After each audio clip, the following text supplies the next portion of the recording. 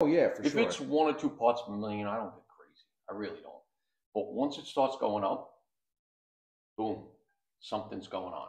So Right. if you're with a partner, we're going in together. Hey Tyler, just want to let you know I'm getting two or three parts per million now. Just a heads up. And whatever your policy is with masking up, that's your department policy. Um, but just a heads up. So don't wait for it. Don't clip this on your coat and just wait for it to beep. Once it does start beeping, that's what we call an action level. You have to do something at that point.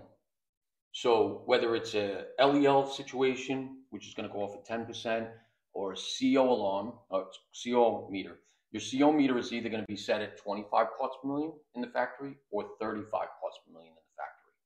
That's how it's going to be set.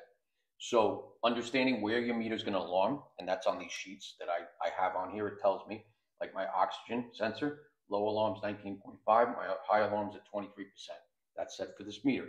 So you can look at this, like say I start getting a reading, and now I look at it, I say, oh, I'm at 19.8.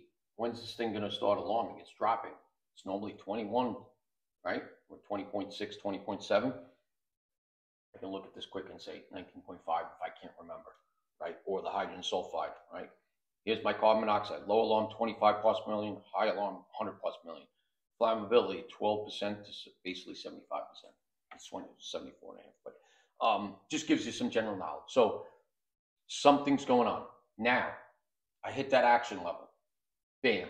Now what do I do?